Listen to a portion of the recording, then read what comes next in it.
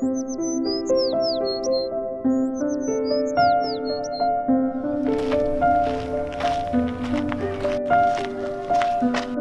what are you doing?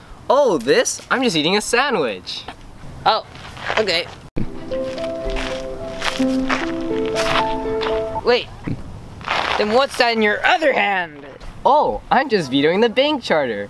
No, you can't do this. The National Bank provides a unified paper currency for everyone in this amazing country. Just last week, someone became rich from the, one of the loans we gave him. Okay, so why are you applying for this loan? Well, my company will be Blah blah blah blah blah blah. This loan will greatly increase the profit that our business makes. Blah blah blah blah blah blah blah. So how much do you want?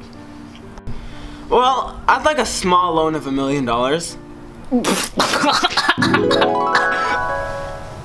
Hey, that's my. Hamburger? No, I was gonna say hat, and that's not even a hamburger. Fine, if you want your hamburger back. Hey, that's my ham. I mean, bank charter.